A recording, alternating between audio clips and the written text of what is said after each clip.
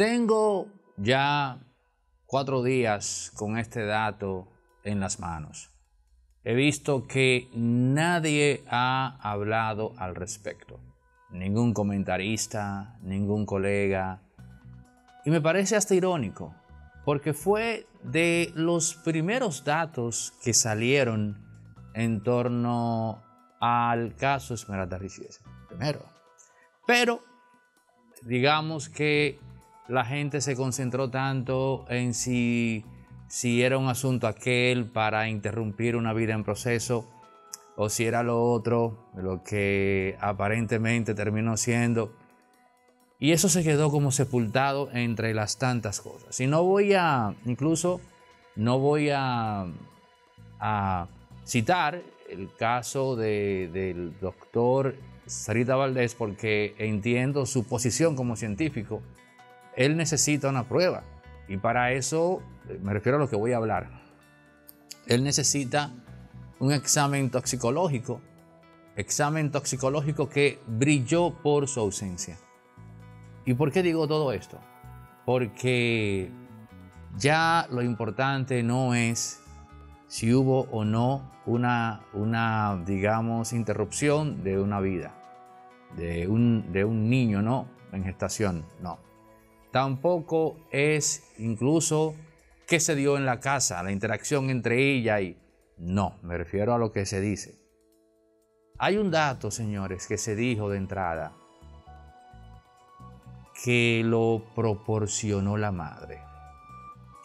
Ella dijo, le di un alcacelser. Y usted dirá, bueno, sí, un alcacelser era Neudi. Era lo que ella tenía a mano porque vio que la niña estaba aquejada, etc. Señores, un alcacelser tiene una dosis X de aspirina. porcentaje X de su composición es de aspirina. ¿Y qué pasa con la aspirina? Usted ha escuchado siempre que es recomendable una aspirina diaria incluso hay una cardioaspirina para prevenir un infarto cardíaco, bla, bla, bla, por aquello de que, de que es anticoagulante. Señores, precisamente por esto que acabo de decir, es que está contraindicado el consumo de Alka-Seltzer en personas que tienen, por ejemplo, dengue, chikungunya, el chikun, ¿cómo es que se pronuncia eso? Chikungunya, whatever, lo que sea, que es casi lo mismo. Bueno, ¿por qué? Porque producen un sangrado interno. Al ser anticoagulante, para que usted pueda comprenderme por dónde voy, es como que si la sangre se hiciera más ligera. Como es anticoagulante, para que usted me comprenda y se lo voy a poner en lenguaje llano, el mecanismo fisiológico del cuerpo humano para impedir que una persona se vaya en el líquido escarlata es precisamente coagular. O sea, hay mecanismos internos para que cuando eso se da, el cuerpo tratando de frenar, lo que hace es que produce microcoágulos y hace que la sangre se torne, digamos, un poco más espesa. Pero es un mecanismo del cuerpo para impedir que la sangre salga. Pero cuando usted le suministra aspirina al cuerpo, está haciendo que la sangre se vaya más liviana. De hecho, habrá algunas mujeres que estén viendo este capítulo que podrán dar fe y, testimonio el susto que se llevaron con un periodo y que consumieron, por ejemplo, aspirina. El susto que se llevaron porque eh, después de pues eh, aquello fue más, eh, digamos, más torrencial. Entonces, ese Alcacercer lo estoy citando hoy porque todos hasta ahora nos hemos estado preguntando, por un lado, si no fue, una, si no fue un asunto de, de irrupción de la vida, si fue una simple intimación, ¿por qué el tema interno? Bueno, Ok, eso está pendiente. Ahora, lo que sí sabemos es que fue el sangrado lo que hizo que ella se fuera de este mundo. Y la razón por la cual es importante el dato del Alcacercer es porque tiene como efecto secundario en una persona que está pasando por un proceso de sangrado hacer que la sangre corra más, porque se hace más liviana. Y se hace más liviana porque la aspirina que tiene el Alka-Seltzer es anticoagulante. Ahí estaría la clave del misterio. Porque aún los golpes, aún los golpes, bueno, ella llamó por teléfono, estaba consciente cuando lo hizo, pero algo aceleró el proceso del sangrado. Hay médicos que me dicen que sí, pero que no necesariamente pudiera costarle la vida. Pero son médicos con postura conservadora. Hay otros que me dicen que inmediatamente escucharon que la madre le dio ingenuamente un alcacercer a una persona que estaba en un proceso de, dijeron, escucharon en ese momento el dato fatídico e imaginaron ver el rostro de la tara. Ese es el dato, señores. Y tras pensarlo, pensarlo mucho, yo particularmente me quedo con ese dato. Amén de si hubo o no una irrupción de una vida, de si ella era una madre primeriza, que fue el primero que se dijo. Amén de que si fue su primer contacto y se dio lo que eh, en los campos, eso tiene un nombre hasta cierto punto poético, pero me voy a omitir eh, decirlo. Si fue eso, incluso si en la casa pasó algo, eso no fue determinante. Lo determinante fue aquello que hizo que ese sangrado se acelerara, eh, se acelerara. Y yo estoy apuntando a la ingesta del alcacercer. Yo no soy médico, pero tenemos sentido común y tenemos, digamos, eh, todos como seres humanos tenemos algo que es el sentido cognitivo de la causa efecto. Entonces, uno comienza a ver, pero ¿por dónde fue? Eh, ¿Cuál fue el detonante del sangrado? El alcacercer es anticoagulante y está contraindicado en situaciones en las que hay sangría. Por lo que acabo de decir. Y la madre, ingenuamente, le dio eso es normal porque ella está viendo a su hija en apuros. ¿Cuál es la moraleja de este tipo de situaciones?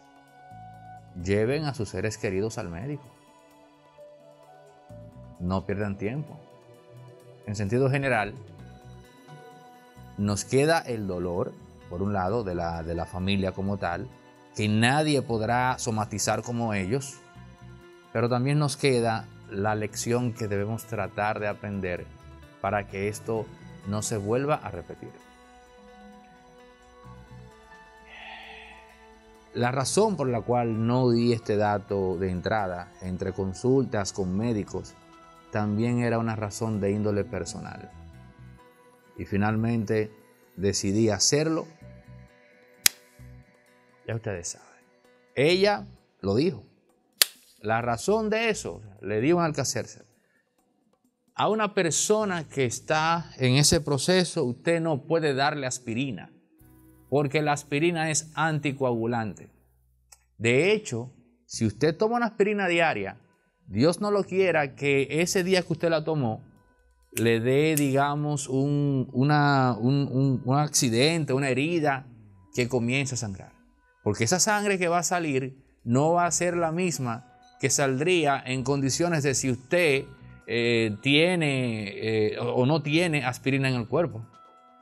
Y acá les doy la solución, porque es verdad que la aspirina es buena para el corazón, pero el magnesio y la lisina trabajan con el corazón más eficiente que la aspirina y no tiene el efecto secundario de usted andar con, con una sangre ligera. Propicio que cualquier cosita que le pase y usted no tenga asistencia médica rápida, usted muera desangrado. datos importantes que pueden salvar una vida. La madre lo dijo. En sus primeras declaraciones nos resolvió el misterio, pero muy pocas personas se percataron de que en el Alcacercer estaba la clave de todo. Tenemos un apartamento en venta en los clasificados en la Avenida Independencia, kilómetro 9, en Buenos Aires del Mirador, un tercer nivel con 118 metros, tres habitaciones, la principal con baño eh, tipo jacuzzi y walking closet, habitación secundaria con amplio closet con diversos departamentos, con gavetas y organizador de calzados, un cuarto de servicio con su baño, área de lavado, escaleras de emergencia, calentador de agua, despensa para ropa blanca, hierros, toldos, shutters, cómodas escaleras, un parqueo techado, gas común por medidor y la luz 24/7, además de seguridad y portón eléctrico. Tiene una amplia sala decorada con una hermosa pared tipo mármol perla, techo en Chiroc, el comedor con una relajante vista panorámica, cocina moderna con luces, sensores de movimiento, extractor, profesional en el 829-741-3061. 829-741-3061. Pueden contactar con Charina Hernández para visitar este acogedor apartamento.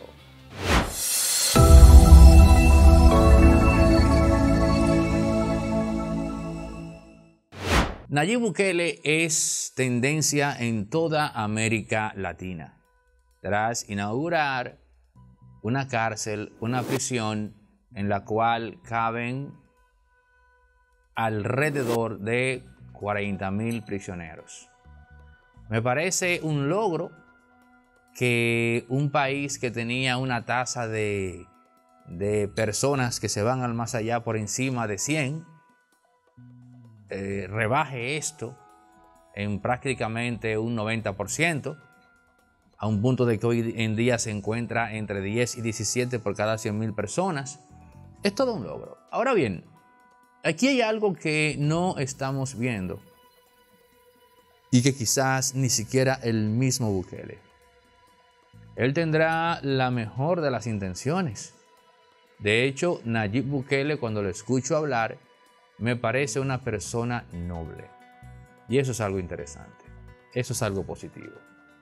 Mi temor es el precedente que se está creando en función de, lo que se ha hecho. Me explico. Una prisión que dé cabida a 40 mil personas debe dejar de ser vista como una prisión. Yo lo vería más bien como una ciudad. 40 mil personas en un lugar X. Eso me parece más un experimento, no él, sino que en lo adelante, con este tema de las famosas ciudades o microciudades, que sin duda son un atentado contra la libertad de tránsito, lo que ha hecho Nayib Bukele en El Salvador buscando contrarrestar la delincuencia. Mi temor es que sea reutilizado en otras partes del mundo como especies de microciudades en las cuales se alojen no ya delincuentes, sino más bien simples seres mortales que no estén de acuerdo con las directrices de un gobierno X. Eso es lo que yo veo ahí. Por eso me dije, Bukele me parece una persona noble no creo que él sea capaz de conceptualizar un modelo privativo de la libertad para un simple ser humano. Reconocemos que en El Salvador tenemos un problema con las bandas y las pandillas. Pero lo que él hizo ahí puede ser reenfocado en otras partes de América Latina o más bien del mundo occidental. Vamos a hacer un habitáculo enorme para 40 mil personas, como la prisión que tiene Nayib Bukele en El Salvador, Pero a estos vamos a llamarles, digamos, ciudades especiales. No les diremos prisión, no, vamos a decirle, o se van a llamar ciudades especiales. Y la gente se lo va a creer. Estamos en la época de las reformulaciones conceptuales. Por ejemplo, usted ha escuchado el vocablo de que trabacaciones. Eso es una invención de estos tiempos. Ese entre otros tantos conceptos. Ese es mi temor con la cárcel de Bukele. Sin dudas, ha hecho algo que en muchos evoca admiración, porque hay que decir que El Salvador se veía como un proyecto perdido en ese sentido. Entiéndase que llegó a un punto de no retorno y de repente viene este muchacho, porque a decirlo así, bastante joven, y de la nada viene, él, él asumió en el año 2019 justo en el año donde conocimos el asunto aquel, ¿no? Que nos trancó durante al menos año y medio en nuestras casas. Entonces, eso es lo que yo estoy viendo ahí. Y esa es mi gran preocupación con este, con este asunto de Nayib Bukele, que incluso al ser tan respaldado en otras partes del mundo, no solo la cárcel, sino lo que he dicho. Yo veo que esto puede estimular a crear, señores, ciudades prisión o prisiones, ciudades para gente no necesariamente delincuente, sino gente común y corriente que no esté de acuerdo con un gobierno o con, digamos, bueno, ustedes vivieron eso recientemente. La crisis sanitaria convirtió a todo aquel que no respetara esas normas en un delincuente. Lo convirtió en una persona blanco de la ley. Eso se puede volver a repetir, solo que en la próxima tendremos un lugar ya especial para nosotros, especial para todo aquel que no quiera unirse al rebaño. Apartamento en los altos de Alameda. Miren las fotos en sus pantallas ahora mismo y escuchen todo lo que tiene este apartamento amueblado. Alquiler en tan solo 40 mil pesos. Oigan esto.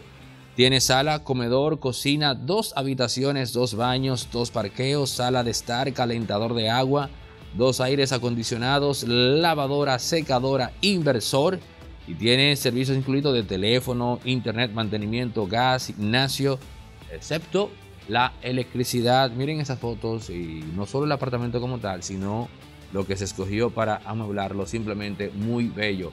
Nos pueden escribir al 829-741-361, repito, 829-741-361 y les ponemos en contacto con Charina Hernández, nuestra representante de bienes raíces.